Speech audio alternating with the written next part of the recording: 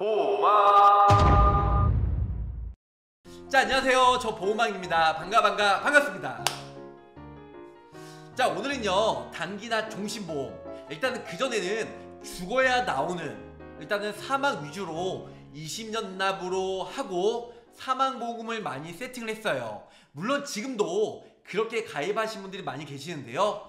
덜어 요즘에는 5년 납입하고 5년 거치 후에 10년 통 크게 비과세 혜택을 받으시면서 일단은 해지환금 높은 데가 어딘지 반대로 7년 납입하고 3년 거치한 다음에 10년 비과세 이자 소득세 15.4%를 면제되는 비과세 혜택을 받으시면서 가장 높은 수익률은 어딘지 저 보험왕과 함께 알아보도록 하겠습니다. 한눈에 보는 저해지 단기나 종신보험 5년 납 좀 있다가는 7년 납도 같이 한번 비교해 드릴 거예요. 자 여기 보시면 DB, 한화, 하나, 농협, 동양, 신한, 푸본 현대, KDB 여러 가지가 있죠. 자 근데 가운데 센터 푸본 현대가 왜 주황색으로 표시가 되어 있을까요? 그만큼 환급률이 5년 납입은 가장 높기 때문에 아무래도 이 max one pick 그래서 푸본 현대로 추천해 드린 겁니다. 자, 천만 원당 보험료를 비교하시면요. 미판매, DB는 7년 납입부터 판매가 되고요. 5년 하나 어, 더 H 그 보험료가 비싸요. 하나 하나로 더 연결 15만 원, 농협 14만 8천 원, 동양은 5년 판매 안 됩니다. 신한은 판매가 되지만 완나 시점에서는 거의 다 99%예요. 이걸 보시면 안 되겠죠? 10년은 무조건 유지하셔야 되기 때문에 10년 시점에서 해지 환급률이 한화는 122%, 122%, 농협 123%, 카드 납입이 가능하죠. 신한 122%, 푸본 현대 124.3%예요. 가장 높은 환급률을 자랑하고 있다는 겁니다. 자, KDB 몇 프로죠? 123%, DGB 124.7% 나쁘지 않아요. 푸본 현대랑 거의 큰 차이가 나지 않습니다. 천만 원당 보험료도 비교하시면 15만 5천 원, DGB가 14만 2천 원이죠. 그리고 옆에 보시면 AB에 네, 118%, 그 다음에 매트도 122%, 나머지도 120, 20%대예요. 자, 124%는 푸본 현대랑 DGB만 있다는 거죠. 푸본 현대랑. 네, 푸본 현대가 아무래도 여기 보시면 우리 유병자 간편보험도 DGB랑 거의 124% 거의 다 비슷한데요. 여기 보시는 바와 같이 완날 시점, 완날 시점에서 사람 일이 모르잖아요. DGB보다 푸본 현대가 3% 정도 더 높다는 걸 알 수가 있습니다. 그래도 이렇게 해서 푸본이랑 DGB랑 같이 비교해서 가입하시면 좋으실 것 같습니다. 자, 간편은 355죠. 그래서 지금 어, 천만 원당 보험료가 저렴한 데가 여러 군데가 있지만 14만 9천 원짜리 DGB 그리고 그 다음에는 뭐 농협 그리고 푸본현대가 있습니다. 완날 시점에서는 99%예요. 그래서 푸본현대나 DGB 같은 경우는 완날 시점에서 해지 환급률이 매우 적다는 거. 하지만 10년, 3년 더 거치해 두, 5년 더 거치해 두고 일단은 어 10년 비과세 받으려면 124%짜리는 아무래도 DGB랑 그 다음에 푸본현대가 가장 높다는 걸 알 수가 있다는 겁니다. 무슨 뜻인지 아시겠죠? 자, 5년 납입은 푸본 현대랑 DGB가 아무래도 가성비 대비 좋다 이렇게 설명을 드릴 수가 있겠습니다.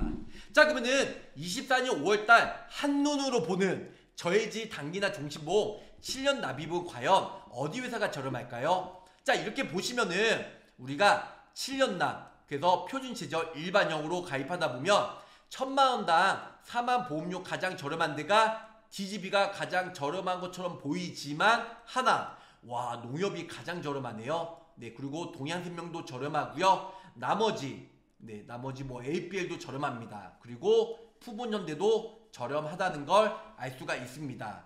자 완나 7년 납이 완나 시점에서는 100%짜리 하나생명도 나쁘지 않고요. 신한 그리고 푸본현대 그리고 AP의 처부가 가장 메리트가 있다는 겁니다.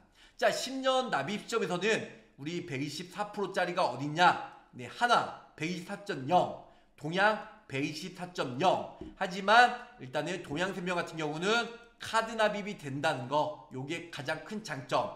카드 포인트도 쌓으면서 나중에 10년 시점에서 124% 그리고 신한도 120%좀 아쉽습니다. 그리고 푸본연대는 124.8% 0.8%가 높고요. DGB도 124.5% 하지만 저 같으면 카드 납입이 되면서 그리고 환급률이 좋은 동양이나 하나가 좀 더 유리하지 않을까 생각이 든다는 거죠.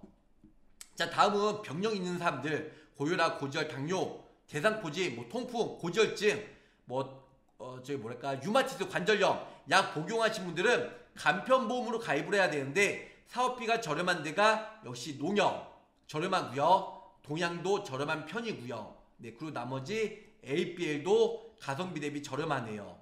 자, 7년 납입하고 100% 되는 데는 한화생명, 그리고 신한과 푸본 현대입니다. 그리고 APL도 있고 처부도 있겠죠. 근데 10년 시점에서는 124%짜리는 없네요. 124%짜리는 푸본 현대만 있고요. 푸본이랑 APL 그리고 DGB만 있습니다.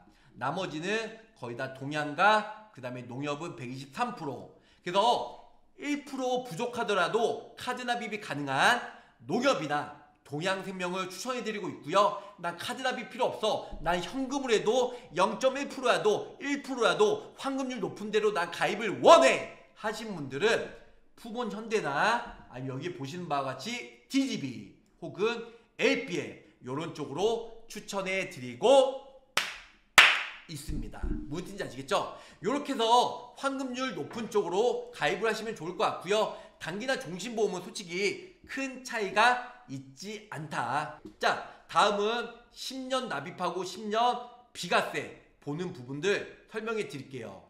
자, 일반 표준형은요. 가장 높은 데가 하나. 와, 압도적이네요. 131% 매우 높아요. 그 다음에 KDB 130% 높습니다.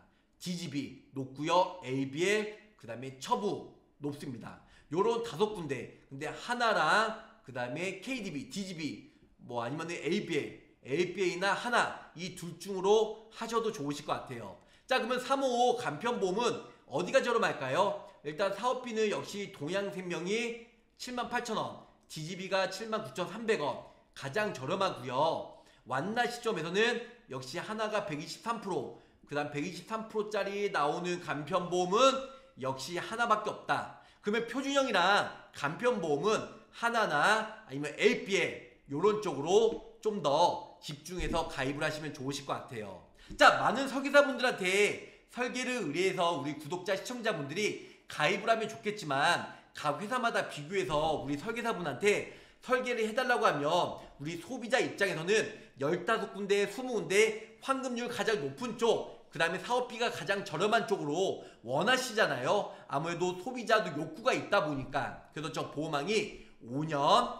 7년, 10년짜리를 15개 회사 가장 잘 나가는 네가 제일 잘 나가 예 가장 잘 나가는 회사 5년나 7년나 10년나 해지 환급률을 올려드렸습니다. 네, 그래서 일단은 단기나 종신보험 사만 보장을 목적으로 하는 보장성 보험은 맞아요. 하지만 일단 요즘에는 비과세 혜택 받으면서 5년이나 7년, 10년짜리 그래서 환급률 빵빵하게 좋은 쪽으로 많이 가입을 하다 보니까 일단은 준비하시면 매우 매우 좋지 않을까 생각이 든다는 거죠.